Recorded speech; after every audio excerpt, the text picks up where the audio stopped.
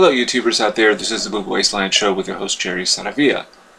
So tonight I'm just going to briefly discuss uh, something that had occurred on SNL 40 with Eddie Murphy. Now I did a video uh, about this technically already, and that was the fact that I was a bit disappointed that after 31 years Eddie Murphy came on stage and, congratu and was congratulated by Chris Rock uh, for having been on SNL for so uh, for the amount of time he was on, and uh, for his career and blah blah blah. So um, Eddie Murphy then came on stage after that presentation. His little talk lasted about a minute and a half, and he said that uh, it was like being back in high school, and that was really about it. And apparently, um, there the the next bit, uh, or, or whatever he was going to say after, said, oh, are we doing this? And he wasn't clear on what was happening because it is live.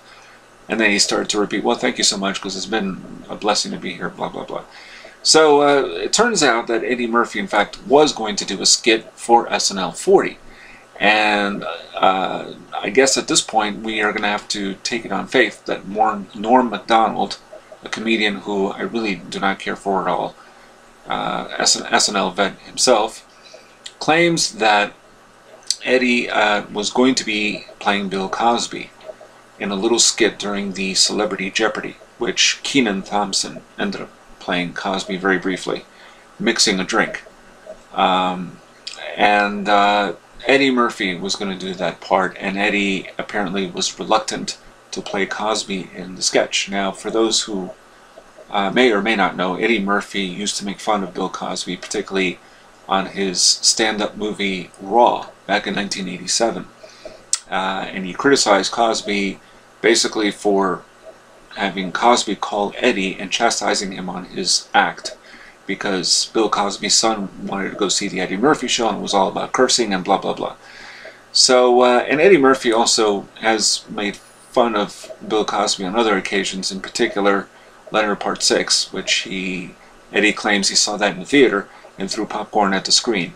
Um, so, but here's the thing. Okay, so there's this writer um, for Salon.com, uh, and her name is Anna Silman, and she feels that Eddie Murphy just decided to play it safe.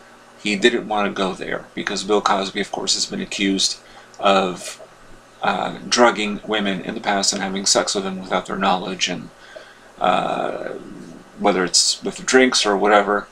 Um, and I guess he didn't want to go there, uh, and I and I understood why he didn't want to go there. Okay, so Kenan Thompson went there. All right, and Kenan Thompson, by the way, appeared in Fat Albert the movie, so it's not like, hey, you know. Um, so some comedians decide to take to poke fun at Bill Cosby uh, lately.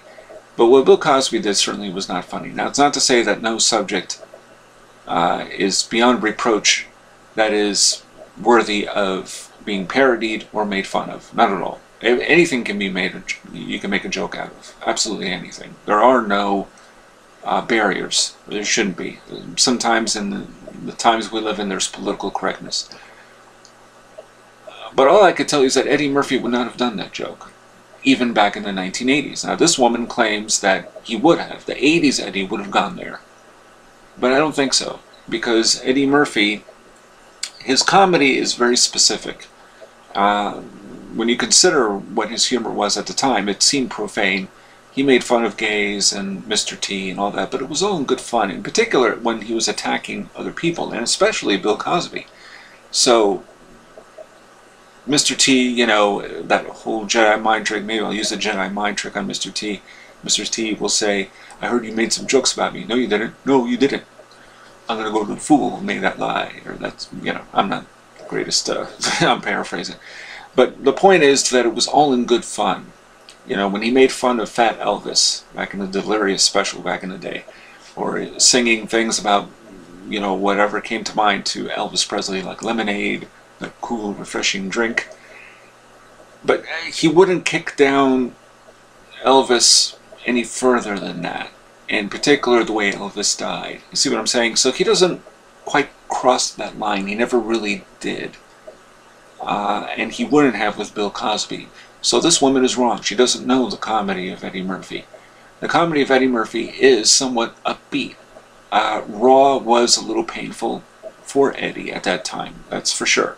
But when he did his impressions and when he got him out of the way right at the beginning of the, of the film, particularly his impressions of Michael Jackson, it was all in good fun. You know, uh, you know the whole thing with the, the glove, Michael Jackson, and stick this glove up your ass and that sort of thing because you keep making fun of me and so on and so forth. But it was always in good fun. This situation with Bill Cosby is troubling. I believe it's true. I know there are some people that feel Bill Cosby didn't allegedly rape any of these women in the past, but so many have come forward, I have to believe that this is true. You know, 27 now 30 or whatever it is women, and it's it's a it's a big controversial uh, topic. And you know, if he Bill Cosby is in fact being accused of being a rapist, I'm not sure Eddie Murphy can deal with that in a way that's funny. Um, what Kenan Thompson did was was kind of funny, so I will I, I will say that, but it's not where Eddie Murphy goes. You see, so he does draw the line somewhere. Anyway, and this is the Boob Wasteland Show with your host Jerry Saravia, signing off.